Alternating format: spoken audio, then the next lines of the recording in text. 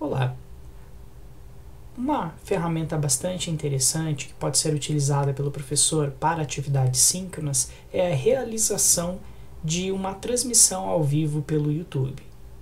Ela é bastante simples. No passado era necessário um software de streaming, mas atualmente também é possível fazer por meio ou do seu celular ou por meio da webcam do computador. Única ressalva para fazer por meio do aplicativo de celular é que tem que ter mais de mil inscritos no canal. Então, uma maneira fácil de fazer sem a necessidade de ter esse número de inscritos é por meio da webcam do seu computador.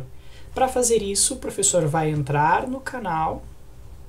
Se não habilitou ainda a transmissão ao vivo, a partir do momento que o professor clicar em transmissão ao vivo, o Google vai lançar umas perguntas, algumas confirmações, vai ter que lançar um código de verificação e após 24 horas o professor terá a possibilidade de fazer suas transmissões. Então, se tem esta intenção, faça esse procedimento com um pouquinho de antecedência para que na data que realmente o professor quiser fazer essa transmissão esteja tudo ok. Aí basta clicar em transmitir ao vivo. E aí, se o professor clicar nesta primeira opção, é por meio de software de streaming, um deles é o OBS. Aqui, é, o objetivo é um pouquinho mais simples, é por meio da webcam. Você vai colocar um título para esta apresentação. Vamos colocar aqui teste 2 ou 1, um, enfim, é que eu já fiz o teste 1. Um. Para não ter conflito, eu vou colocar aqui o teste 2. Eu posso optar se ela vai ser pública, não listada ou particular. É o mesmo conceito dos vídeos.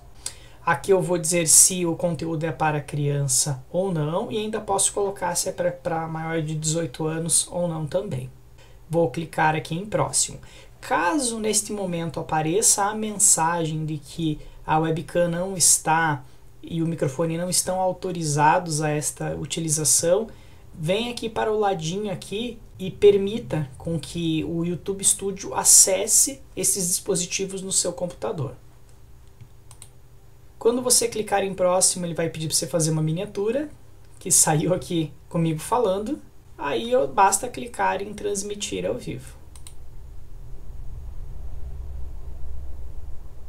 E aí você estará ao vivo.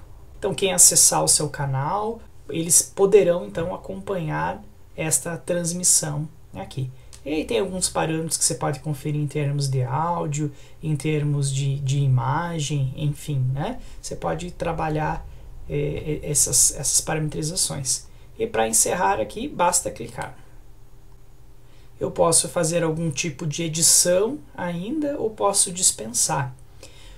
Lá na categoria de vídeos do seu canal, você vai ter os vídeos eh, que foram enviados e vão ter os vídeos que foram realizados ao vivo. Eles poderão permanecer no seu canal ou poderão, depois de um certo tempinho de processamento do YouTube, eles poderão ser excluídos de lá. Eu vou dispensar aqui.